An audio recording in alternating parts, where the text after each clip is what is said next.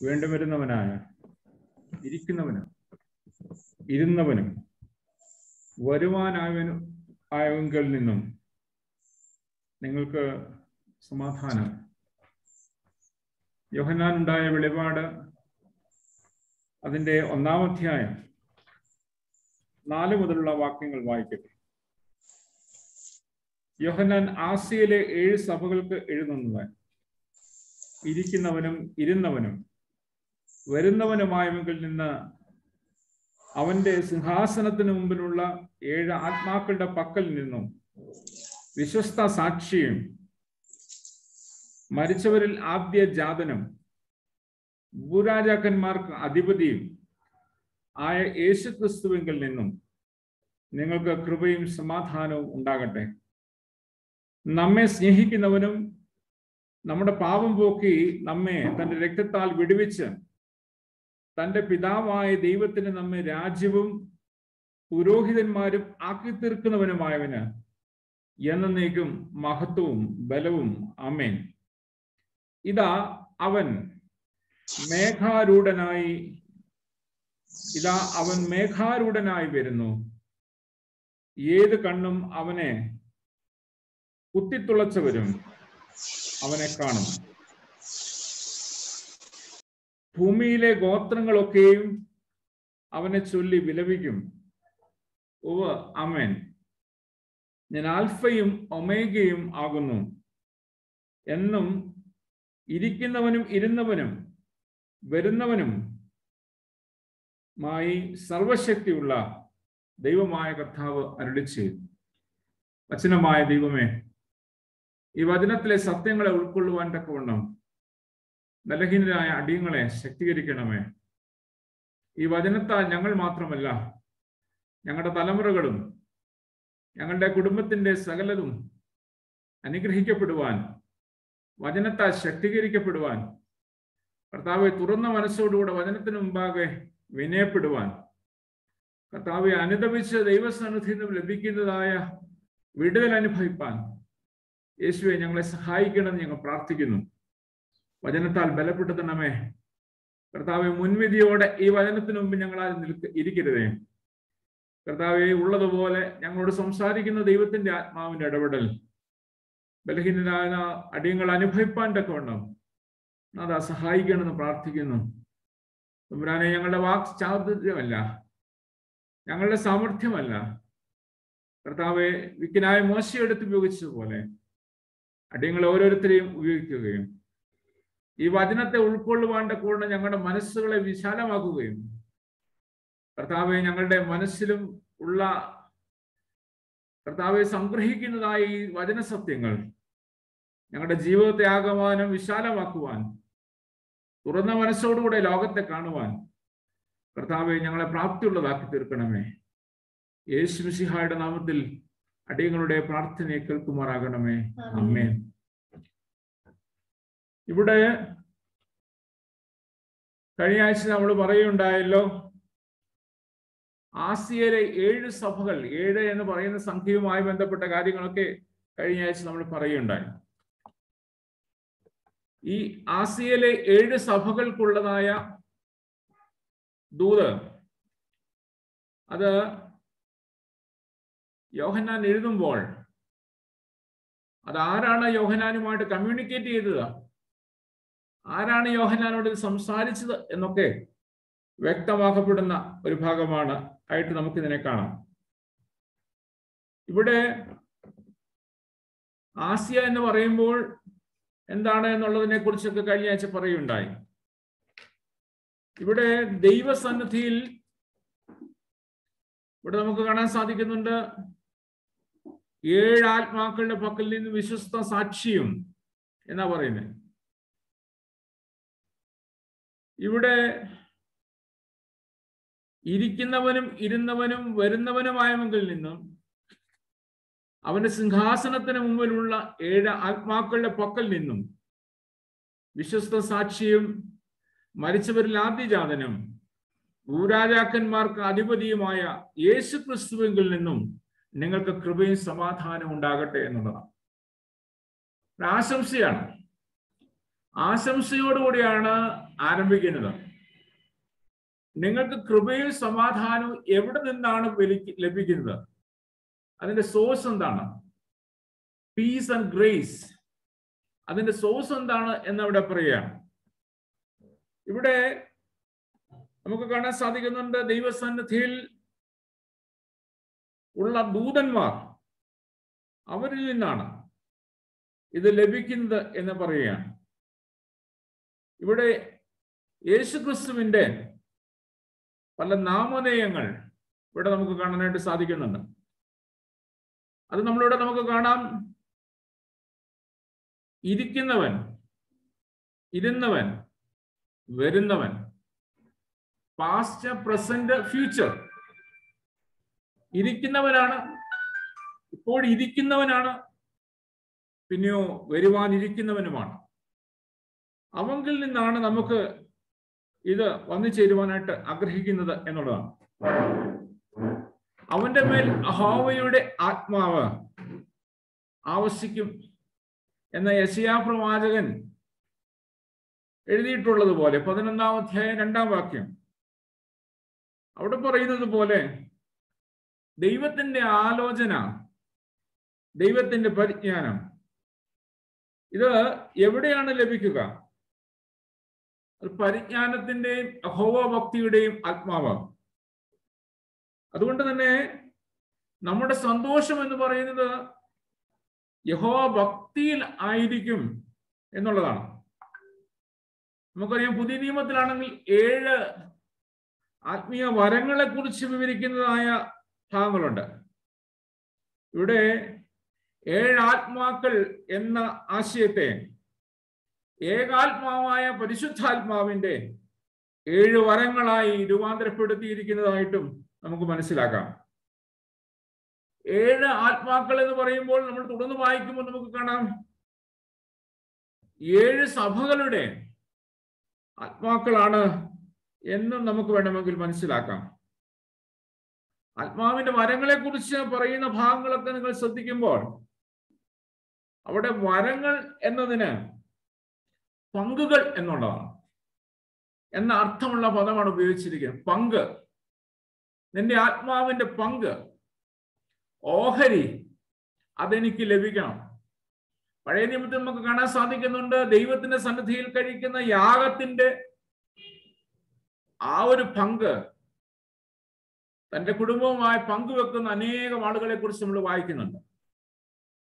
അതുകൊണ്ട് ആത്മാവിന്റെ പങ്ക് ഇവിടെ നമുക്ക് കാണാൻ സാധിക്കുന്നത് ഏക ആത്മാവാണ്.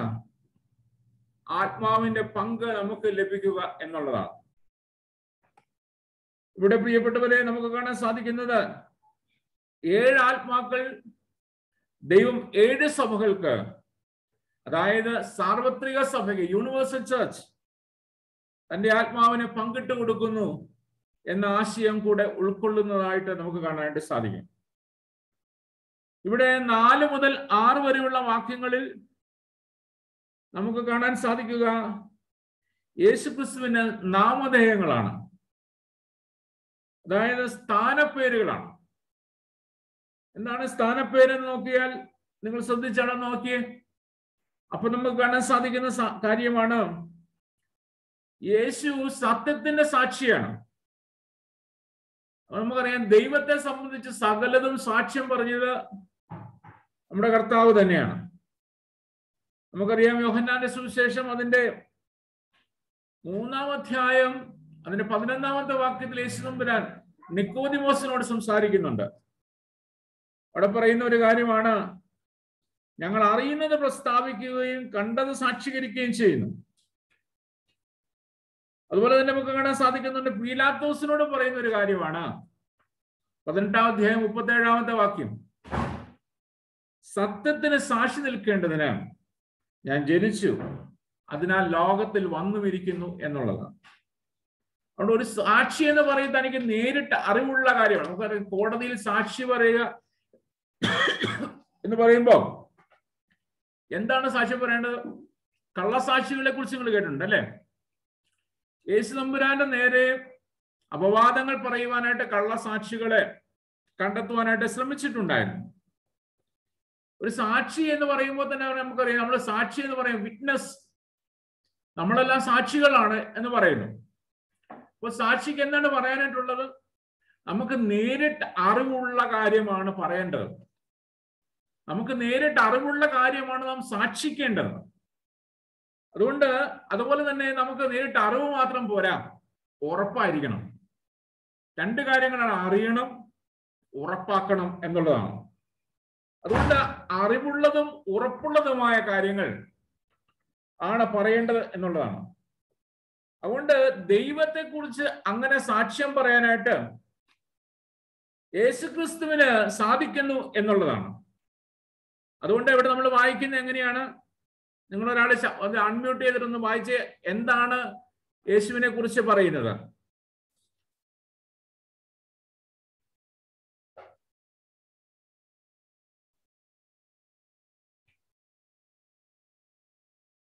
അവന്റെ സിംഹാസനത്തിന് മുമ്പിലുള്ള വായിച്ച്. ആരെങ്കിലും വായിക്കുന്നുണ്ടോ?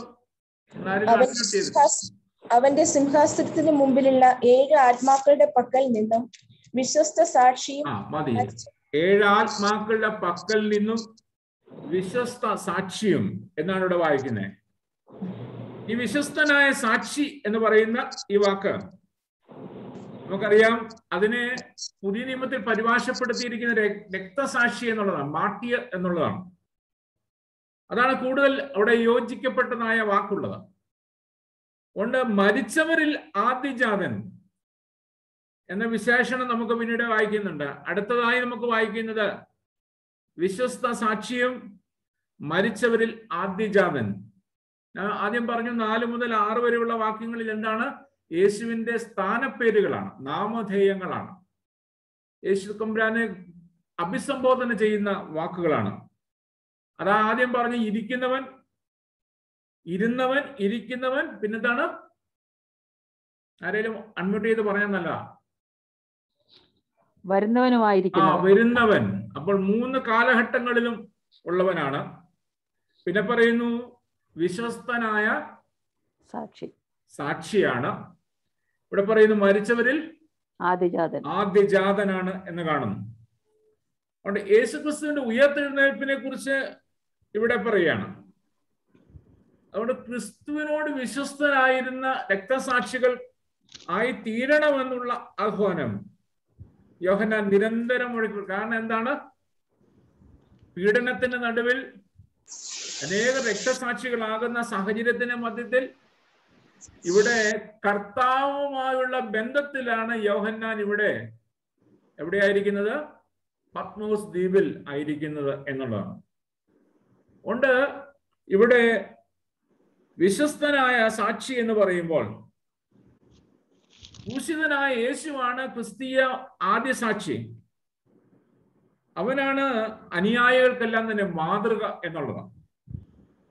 നമ്മൾ ഈ നാട്ടിൽ നിങ്ങൾ പോയി കഴിഞ്ഞാൽ കാണാം. കൂടുതലും ജംഗ്ഷനുകളിൽ ഓട്ടോ സ്റ്റാൻഡ് ഉണ്ട്. അതുപോലെ അതിന്റെ അടുത്ത് തന്നെ യൂണിയൻ തൊഴിലാളികൾ ഇരിപ്പാർ ഇരിക്കാറുണ്ട്. ചുമടൊക്കെ എടുക്കുന്ന ആളുകൾ വണ്ടിയൊക്കെ വന്ന് ചുമട്ട കയറാ എടുക്കാൻ വേണ്ടി വണ്ടിയിൽ കയറി വരുന്ന ആളുകൾ അവരൊക്കെ ഇരിക്കുന്നതിന് അടുത്ത് തന്നെ ഞങ്ങളുടെ പ്രദേശങ്ങളിലൊക്കെ കാണാം ഒരു ചുമന്ന ഒരു ബോക്സ് പോലെ താഴേക്ക് വന്നൊക്കെ പണിത് കാണാം. ഇടയ്ക്ക് അവിടെ ചുമന്ന പൂക്കളൊക്കെ ഇടുന്നത് കാണാം.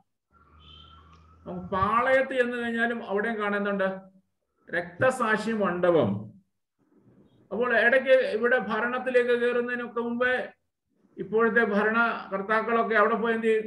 ഇങ്ങനെ എന്താ കൈയൊക്കെ ബലം പിടിച്ച് അവരിങ്ങനെ ആവേശത്തോടു കൂടെ കൈ ഉയർത്തുന്നതായിട്ട് കാണാം. കാരണം അവർ പറയുന്നത് ഞങ്ങൾ ഇന്ന് ആയിരിക്കുന്നതിന്റെ പിന്നിൽ നിങ്ങളുടെ ത്യാഗങ്ങൾ നിങ്ങളുടെ സാക്ഷ്യമാണ് ഞങ്ങളെ ബലപ്പെടുത്തുന്നത് എന്നുള്ളതാണ്. പീഡനത്തിലൂടെ കടന്നു പോകുന്ന ക്രിസ്ത്യാനി ക്രിസ്തീയ വിശ്വാസികളെ സംബന്ധിച്ചിടത്തോളം അവരെ ബലപ്പെടുത്തുന്നത് ഈ മരിച്ചവരിൽ നിന്നുള്ള ആദിജാതൻ വിശ്വസ്തനായ സാക്ഷിയാണ് എന്നുള്ളതാണ്. നമുക്കറിയാം പൗരസപ്പോസ്തോലൻ റോമർക്ക് എഴുതിയ ലേഖനം ആറാമത്തെ അധ്യായം അതിന്റെ മൂന്നാമത്തെ വാക്യത്തിൽ പറയുന്ന ഒരു കാര്യമാണ്.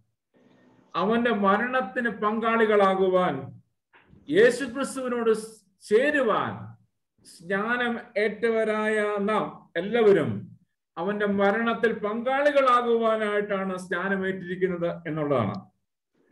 അപ്പോൾ അങ്ങനെ അവന്റെ മരണത്തിൽ പങ്കാളികളാകുവാൻ സ്നാനമേറ്റിരിക്കുന്ന ഞാനും നിങ്ങളും അവന്റെ ഉയർത്തെഴുന്നേൽപ്പിലും പങ്കാളികളാണ് എന്നുള്ളത് നമുക്ക് ലഭിക്കുന്ന ഒരു അഷുറൻസ് ആണ്. അപ്പോൾ അവന്റെ മരണത്തിൽ പങ്കാളികളാകുവാൻ നിങ്ങൾക്ക് ഒന്നുകൂടെ മനസ്സിലാകാൻ വേണ്ടിയാ പറയുന്നത്. അവന്റെ മരണത്തിൽ പങ്കാളികളാകുവാൻ സ്നാനമേറ്റിരിക്കുന്ന ഞാനും നിങ്ങളും അവന്റെ ഉയർത്തെഴുന്നേൽപ്പിലും പങ്കാളികളാണ് എന്നുള്ളതാണ്. അതുകൊണ്ട് ഇവിടെ നമുക്ക് കാണാം ആദ്യ ജാതൻ അവൻ പിതാവിന്റെ സ്ഥാനമാനങ്ങളും അധികാരങ്ങളും പങ്കിടുവാനായിട്ട് അവകാശിയാണ് എന്നുള്ളതാണ്. അതുകൊണ്ട് ഇവിടെ ഏറ്റവും മുൻഗണന ഈ ആദ്യജാതന ഉണ്ട് എന്നുള്ളതാണ്. നമുക്കറിയാം പലപ്പോഴും നമ്മുടെ വീടുകളിൽ മൂന്നും നാലും മക്കളുള്ള വീടുകളുണ്ടല്ലോ. ഏറ്റവും കൂടുതൽ വാത്സല്യം വാത്സല്യം മക്കൾക്ക് എല്ലാവർക്കും ഒരുപോലെ ആയിരിക്കും നമ്മൾ കൊടുക്കുന്നത്. എന്നാൽ കൂടുതൽ സൗകര്യങ്ങൾ അനുഭവിച്ചിട്ടുള്ള ആരായിരിക്കും? കൺവീട്ട് ചെയ്ത് പറഞ്ഞാൽ നല്ലതാണ്. ആദ്യം ഉണ്ടാകുന്ന മക്കളാണ്. കാരണം വളരെ പ്രതീക്ഷയോടുകൂടെ ആദ്യം ഉണ്ടായ ആൾക്ക് നമ്മളെല്ലാം വാങ്ങിച്ചു കൊടുക്കും. രണ്ടാമത്തെ ആൾ ഇവിടെ ഞങ്ങളുടെ ഇടയിൽ പരാതി പറയാറുണ്ട് അവിടെ എല്ലാമാണ് ഞാൻ ഉപയോഗിക്കുന്നതെന്ന് പറയാറുണ്ട്. എന്ന് പറഞ്ഞാൽ എല്ലാം എന്താണ് പങ്കുവെക്കുകയാണ്. അപ്പോൾ ആദ്യ ജാതൻ എന്ന് പറയുമ്പോൾ അവന് ഒത്തിരി ഒത്തിരി എന്താണ് പദവികൾ അധികാരങ്ങൾ അനുഗ്രഹങ്ങൾ സന്തോഷങ്ങളൊക്കെ അവൻ ആദ്യം കൈപ്പറ്റുന്നവനാണ് എന്നുള്ളതാണ്. അതുകൊണ്ട് നമുക്കിവിടെ കാണാൻ സാധിക്കുന്നത് പിതാവിന്റെ പാരമ്പര്യം അനുസരിച്ച് ആദിജാതനായ യേശു സകല സൃഷ്ടിക്കും ആദിജാതനാണെന്ന് പൗലോസപ്പോസ്തലൻ കൊലോസിയ ലേഖനത്തിൽ പറയുന്നുണ്ട്. നിങ്ങൾ ഇതൊന്ന് ഈ പറയുന്ന വാക്യങ്ങളൊക്കെ നോട്ട് ചെയ്ത് വെച്ചിട്ട് പിന്നെ വായിച്ചു നോക്കണം. ഒന്നാം അധ്യായം പതിനഞ്ചാമത്തെ വാക്യം.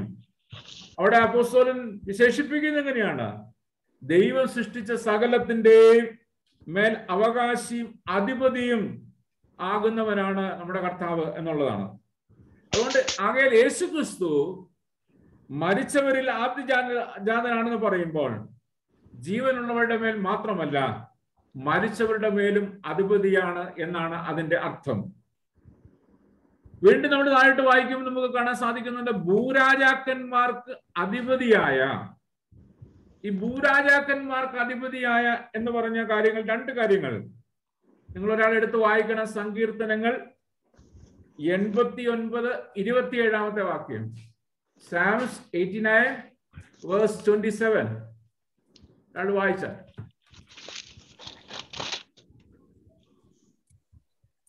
ഞാൻ അവനെ ആദ്യജാതനും ഭൂരാജക്കന്മാരെ ശ്രേഷ്ഠനുമാക്കും. ആ ഞാൻ അവ- അവനെ ആദ്യജാതനും ഭൂരാജാക്കന്മാർക്ക് അധിപതിയും ശ്രേഷ്ഠനുമാക്കുമെന്ന് വായിക്കുകയാണ്.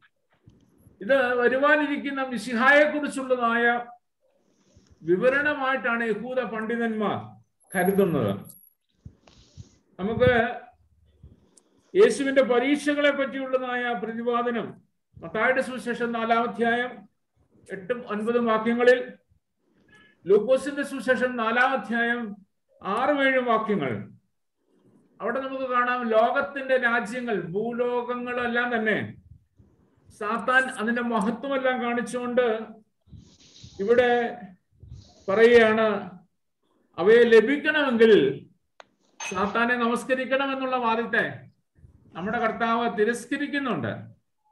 സാത്താനെ നമസ്കരിച്ചിട്ടല്ല സാത്താനോട് വിലവേശിയുമല്ല പിന്നെയോ പിതാവായ ദൈവത്തിന്റെ ഇഷ്ടം നിറവേറ്റിയാണ് ഇവിടെ ഇതിനൊക്കെ അധിപതിയായി തീരുന്നത് എന്നുള്ളതാണ്.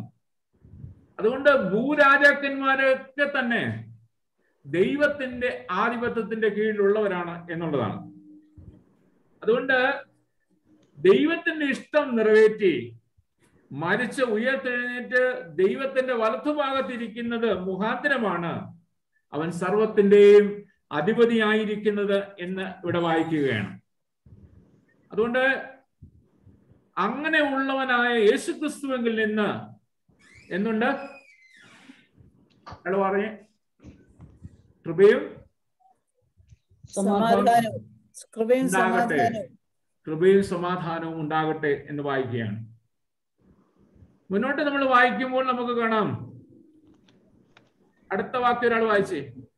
നമ്മെ സ്നേഹിക്കുന്നവനും നമ്മുടെ പാപം പോക്കി നമ്മെ തന്റെ രക്തത്താൽ വിടുവിച്ച് തന്റെ പിതാവായ ദൈവത്തിന് നമ്മെ രാജ്യവും പുരോഹിതന്മാരും ആക്കി തീർത്തവനുമായ ആയവന് എന്നേക്കും മഹത്വവും ബലവും ആമേൻ. യേശുക്രിസ്തു മനുഷ്യവർഗത്തിന് വേണ്ടി ചെയ്ത കാര്യങ്ങളാണ് ഈ വാക്യങ്ങളിൽ വിവരിക്കുന്നത്. അവൻ നമ്മെ സ്നേഹിച്ചു. നമ്മൾ പാട്ടുണ്ടല്ലോ. അവൻ നമ്മെ സ്നേഹിച്ചു. അവൻ നമ്മെ വീണ്ടെടുത്തു. സ്വന്ത ജനമാക്കി തീർത്തതിനാൽ സ്തുതിഗീതം പാടുക അല്ലേ? നമ്മൾ പാടുന്നതാണ്. അവൻ നമ്മെ സ്നേഹിച്ചു. സ്വന്തം രക്തത്താൽ നമ്മെ വിലയ്ക്ക് വാങ്ങി സ്വാതന്ത്ര്യം നൽകിയിരിക്കുന്നു എന്ന്. സ്വാതന്ത്ര്യം നൽകി എന്നതിന് പകരം കഴുകി ശുദ്ധീകരിച്ചു എന്നാണ് ഇവിടെ ഉപയോഗിച്ചിരിക്കുന്നത്. ഇവിടെ നമുക്ക് കാണാം നമ്മെ സ്നേഹിക്കുന്നവനും നമ്മുടെ പാപം പോക്കി നമ്മെ തന്റെ രക്തത്താൽ വിടുവിച്ച് തന്റെ പിതാവായ ദൈവത്തിന് നമ്മെ രാജ്യവും പുരോഹിതന്മാരും ആക്കി തീർത്തവനുമായവനിൽ നിന്നും എന്നേക്കും മഹത്വവും ബലവും. അമേൻ. അതാണ് ഇവിടെ പറയുന്നത്. ഇവിടെ വിടുവിച്ചവനാണ് വിടുതലിന് എന്താണ് മറുപടിയായി കൊടുത്തത്? എന്താ മറുപടി കൊടുത്തത്? രക്തം. രക്തമാണ്. അതുകൊണ്ട് രക്തത്താൽ വിടുതൽ പ്രാപിക്കപ്പെട്ടു എന്നുള്ളതാണ്. നമ്മെ തന്റെ രക്തത്താൽ വിടുതൽ പ്രാപിച്ചവനാണ്. വിടുതൽ നൽകിയവനാണ് വിടുവിച്ചവനാണ്. അതുകൊണ്ട് ന്യായപ്രമാണത്തിന്റെ ശാപത്തിൽ നിന്നും അടിമത്തത്തിൽ നിന്നും നമ്മെ വീണ്ടെടുത്തവനാണ്. പൗരസപ്പോസ്തലൻ ഗലാത്തിരക്ക് എഴുതിയ ലേഖനം മൂന്നാം അധ്യായം അതിന്റെ പതിമൂന്നാമത്തെ വാക്യം നാലാം അധ്യായം അഞ്ചാമത്തെ വാക്യം. ഇത് ഇവിടെ നമ്മെ വീണ്ടെടുത്തതായ ദൈവത്തിന്റെ സ്നേഹത്തെ കുറിച്ചാണ് പറയുന്നത്. അവിടെ ഒരു വാക്കിന്റെ അതിന്റെ ഒരു മൂലപദം എന്ന് പറയുമ്പോൾ അതിന്റെ അർത്ഥം വിലയ്ക്ക് വാങ്ങി എന്നുള്ളതാണ്.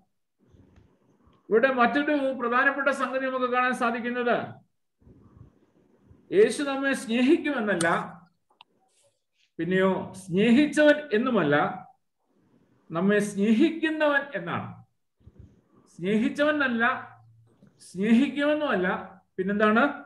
സ്നേഹിക്കുന്നവൻ. എന്നാണ്. അതുകൊണ്ട് അത് പ്രസന്റ് ആണ്. വർത്തമാനകാലമാണ്. അതുകൊണ്ട് ഭൂതകാലത്ത് നിവർത്തിക്കപ്പെട്ട ഇതിന്റെ ഫലം ഇപ്പോഴും നിലനിൽക്കുന്നു എന്നുള്ളതാണ്. ഒരിക്കൽ രക്തം ചീന്തി എന്നതുകൊണ്ട് ഇന്നും നാം എന്താണ്? ആ സ്നേഹത്തിലാണ് എന്നുള്ളതാണ്. ഇന്നും ആ സ്നേഹം നമ്മുടെ മേൽ ഉണ്ട് അത് നിവർത്തിച്ചുകൊണ്ടിരിക്കുന്നു എന്നുള്ളതാണ്. അതുകൊണ്ട് ഒരു കാര്യം ഓർത്തിരിക്കണം. യേശു ക്രിസ്തുവിന്റെ യാഗം ഒരിക്കലായി നമുക്ക് വേണ്ടി അർപ്പിക്കപ്പെട്ടതാണ്. നിരന്തരമായ ആ വിടുതൽ അതിന്റെ ഫലം നാം ഇന്നും അനുഭവിക്കുന്നു എന്നുള്ളതാണ്. അതുകൊണ്ട് ദൈവം നമ്മെ സ്നേഹിക്കുന്നു എന്നുള്ളത് ഇന്ന് അതാ പറയും ദൈവം എന്നെ സ്നേഹിച്ചു എന്നെ സ്നേഹിക്കുന്നു എന്നെ സ്നേഹിക്കും എന്നുള്ളതാണ്. അതുകൊണ്ട് ഈ രക്ഷയെക്കുറിച്ച് നമ്മളോട് ആരെങ്കിലും ചോദിക്കുമ്പോഴും നമ്മൾ വ്യക്തമായി പറയേണ്ട ഒരു കാര്യം ഞാൻ രക്ഷിക്കപ്പെട്ടു ഞാൻ രക്ഷിക്കപ്പെട്ടുകൊണ്ടിരിക്കുന്നു ഞാൻ രക്ഷിക്കപ്പെടും. ഈ മൂന്നും പ്രധാനപ്പെട്ട ഒരു കാര്യമാണ്. അതുകൊണ്ട് ക്രൂസിൽ ഒരിക്കലായി നിറവേറ്റിയതായ യാഗം നിത്യമാണ് നിരന്തരമാണ്. അത് ദൈവസ്നേഹത്തിലേക്കുള്ള വാതിലായി ഒരിക്കലായി തുറക്കപ്പെട്ടതും ഇപ്പോൾ തുറന്നു കിടക്കുന്നതുമാണ് എന്നുള്ളത് ഓർത്തിരിക്കണം.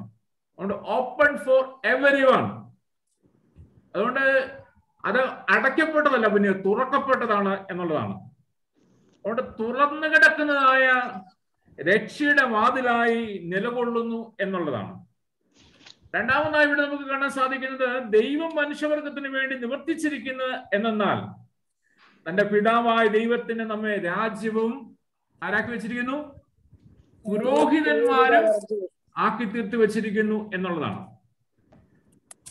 നിങ്ങൾ പുറപ്പാട് പുസ്തകം പത്തൊൻപതാം അധ്യായം ആറാമത്തെ വാക്യം ഒരാൾ വായിച്ചുണ്ട് പുറപ്പാട് പത്തൊൻപതിന്റെ ആറ്.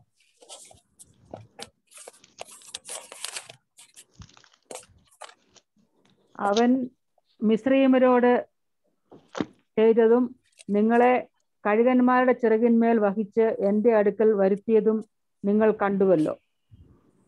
ഇവിടെ പറയുന്നു പത്തൊൻപതിന്റെ ആറ്. നിങ്ങൾ എനിക്കൊരു പുരോഹിത രാജ്യത്വവും വിശുദ്ധ ജനവുമാകും. ഇവ നീ ഇസ്രായേൽ മക്കളോട് പറയേണ്ടുന്ന വചനങ്ങളാകുന്നു. ഇവിടെ പറയുന്നു നിങ്ങൾ ഒരു വിശുദ്ധ വംശമാണ് പുരോഹിത വർഗമാണ് എന്നുള്ളതാണ്.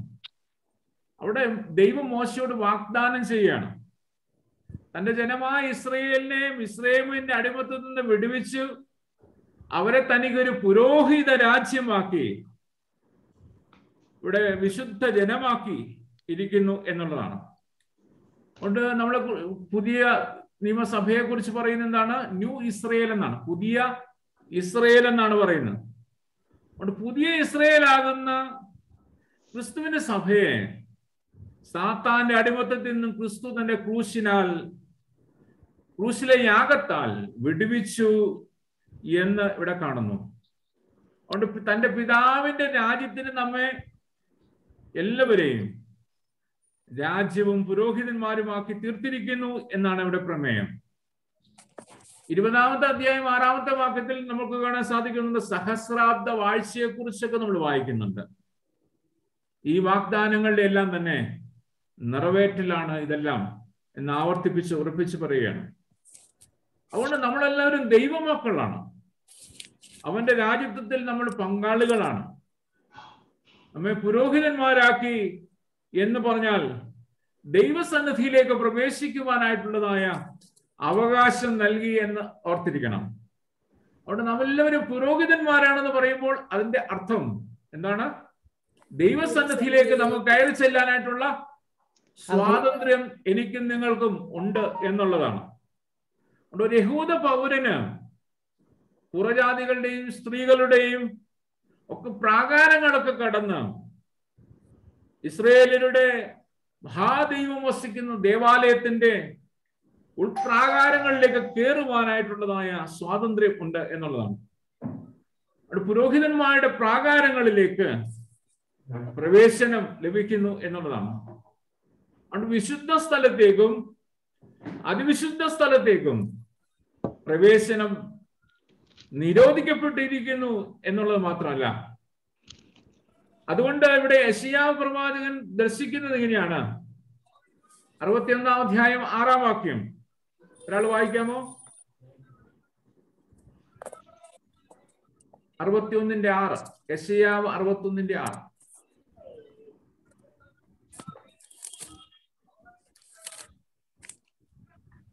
നിങ്ങളോ യഹോവയുടെ പുരോഹിതന്മാർ എന്ന് വിളിക്കപ്പെടും. നിങ്ങളോ യഹോവയുടെ പുരോഹിതന്മാർ എന്ന് വിളിക്കപ്പെടും. ആ നാളിൽ ജനത്തിന് ഓരോരുത്തരും ഓരോ പുരോഹിതനായിരിക്കും എന്നുള്ളതാണ്. എല്ലാവർക്കും ദൈവസന്നി അതിന്റെ ഒരർത്ഥം നിങ്ങൾ പ്രധാനമായും മനസ്സിലാക്കിയിരിക്കേണ്ട ഒരു കാര്യമാണ്. എല്ലാവർക്കും ദൈവസന്നിധിയിലേക്കുള്ള പ്രവേശനം സാധ്യമാക്കി എന്നുള്ളതാണ്. അതുകൊണ്ട് യോഹന്നാൻ ഇവിടെ അർത്ഥമാക്കുന്നത് ഇത് തന്നെയാണ്.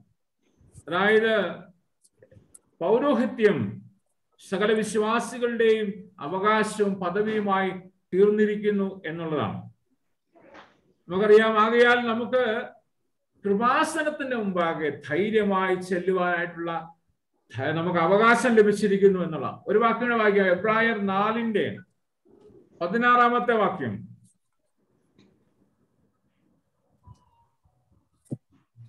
അതുകൊണ്ട് ആരും അനസ് അനു- അനുസരണക്കേടിന്റെ സമദൃഷ്ടാന്തത്തിനൊത്തവണ്ണം വീഴാതിരിക്കേണ്ടതിന് നാം ആ സ്വസ്ഥതയിൽ പ്രവേശിക്കാൻ ഉത്സാഹിക്കുക നാലിന്റെ പതിനാറ്. അതുകൊണ്ട് കരുണ ലഭിപ്പാനും തത്സമയത്ത് സഹായത്തിനുള്ള കൃപ പ്രാപിപ്പാനുമായി നാം ധൈര്യത്തോടെ കൃപാസനത്തിന് അടുത്ത് ചെല്ലുക. അതുകൊണ്ട് നമുക്ക് ധൈര്യത്തോടെ ദൈവത്തിൽ നിന്ന് കരുണ പ്രാപിക്കുവാനായി ധൈര്യത്തോടെ അവന്റെ സന്നിധിയിലേക്ക് കടന്നു ചെല്ലാം എന്നുള്ളതാണ്.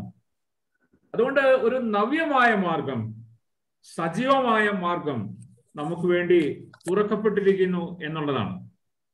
അതുകൊണ്ട് എന്നേക്കും മഹത്വവും ബലവും ആമീൻ. ഇതാ അവൻ മേഘാരൂഢനായി വരുന്നു. ഏത് കണ്ണും അവനെ കുത്തിത്തുളച്ചവരും അവനെ കാണും. ഭൂമിയിലെ ഗോത്രങ്ങളൊക്കെയും അവനെ ചൊല്ലി വിലപിക്കും എന്നുള്ളതാണ്.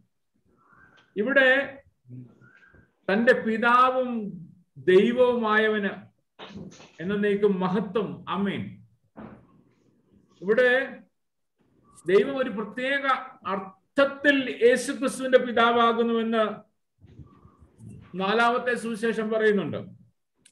നാലാമത്തെ സുവിശേഷം യോഹന്നാന്റെ സുവിശേഷം. ക്രിസ്തീയ വിശ്വാസ പ്രമാണങ്ങളുടെയൊക്കെ തന്നെ ക്രോഡീകരണത്തിൽ പിതാവായ ദൈവം എന്ന് പറഞ്ഞ പ്രപഞ്ചങ്ങൾക്കൊക്കെ അതീതനാണ്. അതുപോലെ തന്നെ നമുക്ക് കാണാൻ സാധിക്കും വിദൂരസ്ഥനാണ്. ക്രിസ്തുവിൽ കൂടെ മാത്രമാണ് നമുക്ക് ദൈവത്തെ അടുത്തറിയാനായിട്ട് സാധിക്കുന്നത് എന്നുള്ളത്. അതുകൊണ്ട് വെളിപാട് പുസ്തകത്തിൽ നമുക്ക് വേണമെങ്കിൽ മനസ്സിലാക്കാം. ഇപ്രകാരം തന്നെ നാം മനസ്സിലാക്കണം. ഇത് ഇന്നിന്റെ വർത്തമാനകാല യുഗത്തിന്റെ ഒരു ദൈവശാസ്ത്രം തന്നെയാണ്. അതുകൊണ്ട് ഈ പുതുയുഗത്തിൽ ദൈവവും കുഞ്ഞാടും വിശുദ്ധന്മാർക്ക് മുഖാമുഖം ദർശിക്കുകയും ചെയ്യും എന്നുള്ളതാണ്. ദൈവവും കുഞ്ഞാടും വിശുദ്ധന്മാർക്ക് മുഖാമുഖമായി ദർശിക്കുവാനായിട്ട് സാധിക്കും. എന്തുകൊണ്ടെന്നാൽ അവൻ മനുഷ്യരോടൊത്ത് വാസം ചെയ്യും എന്നുള്ളതാണ്. പുതിയ ആകാശം പുതിയ ഭൂമി. ഈ ആഴ്ച പള്ളിയിൽ ആരാധനയെ പങ്കെടുക്കുമ്പോൾ നിങ്ങൾ കേൾക്കണം. അപ്പോ ഒന്നാം പാഠമാണ്. രണ്ടാം പാഠം. അവൻ എന്നേക്കും മഹത്വവും ബലവും. അമീൻ ഇവിടെ ഈ മഹത്വീകരണ വാക്യം നമുക്ക് കാണാൻ സാധിക്കുന്നുണ്ട്. ഈ മഹത്വീകരണ വാക്യം ക്രിസ്തുവിനുള്ളതാണ്. ദൈവത്തിനാണ് മഹത്വം. ക്രിസ്തുവിനാണ് മഹത്വം. ഭൂരാജാക്കന്മാർക്ക് അധിപതിക്കാണ്. അതുകൊണ്ട് ദുഷ്ടശക്തികളുടെ മേൽ ക്രിസ്തു നേടുവാൻ പോകുന്ന അത്യന്തികമായ വിജയത്തെയാണ് ഇത് സൂചിപ്പിക്കുന്നത് എന്ന് കാണാൻ സാധിക്കും. ഇവിടെ ഈ മഹത്വീകരണ വാക്യം വാക്യമോ ദാനിയേലിന്റെ പുസ്തകം ഏഴാം അധ്യായം പതിമൂന്നും പതിനാലും വാക്യങ്ങൾ. ദാനിയേൽ ഏഴ് പതിമൂന്ന് പതിനാല് വാക്യങ്ങൾ.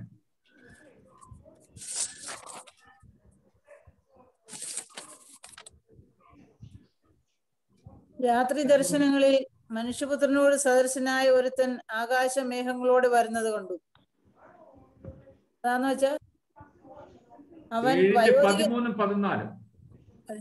അവൻ വയോധികന്റെ അടുക്കൽ ചെന്നു. അവർ അവനെ അവന്റെ മുൻപിൽ അടുത്തു വരുമാറാക്കി. സകല വംശങ്ങളും ജാതികളും ഭാഷക്കാരും അവനെ സേവിക്കേണ്ടതിന് അവന് ആധിപത്യവും മഹത്വവും രാജ്യത്വവും ലഭിപ്പാൻ ലഭിച്ചു. ആധിപത്യം നീങ്ങിപ്പോകാത്ത ന്യാ- ന്യായാധിപ നിത്യാധിപത്യവും അവന്റെ രാജ്യത്വം നശിച്ചു പോകാത്തതുമാകുന്നു. ആ നിത്യ ആധിപത്യം നിത്യരാജ്യത്വം മഹത്വം മനുഷ്യപുത്രനുള്ളതാണ് എന്ന് ഉറപ്പിച്ച് പറയുകയാണ്. ഇവിടെ ക്രിസ്തീയ ആരാധനക്രമങ്ങളിലെല്ലാം തന്നെ ഇത് വളരെ വ്യക്തമായി പറയുന്നുണ്ട്. ഇതുപോലെയുള്ള പല ശൈലികളും രൂപകങ്ങളും ഒക്കെ വെളിപാട് പുസ്തകത്തിൽ നാം കാണുന്നതായിട്ട് നമുക്ക് കാണാൻ സാധിക്കുന്നു. അവിടെ വരുവാനിരിക്കുന്ന മഹത്വം എന്ന് പറയുന്നത് പീഡനത്തിന് വിധേയനായ യോഹന്നാൻ പീഡനത്താൽ വീർപ്പുമുട്ടുന്ന വിശ്വാസികൾക്ക് എഴുതുന്നത് പഴയ നിയമത്തിലെ ദൈവത്തിന്റെ വാഗ്ദാനങ്ങളെയും വിശ്വസ്തതയെയും ഉയർപ്പി ഉയർത്തിപ്പിടിച്ചുകൊണ്ട് ഭാവിയുടെ മഹത്വ പ്രത്യാശയിലേക്ക് വിരൽ ചൂണ്ടുന്നു ആയിട്ട് നമുക്ക് കാണാൻ സാധിക്കും. അതുകൊണ്ട് വെളിപാട് പുസ്തകത്തിന്റെ ലക്ഷ്യം ഈ വാക്യം വെളിവാക്കുകയാണ്. യേശുക്രിസ്തു ജയാളിയായി വേഗം വരും നിശ്ചയം.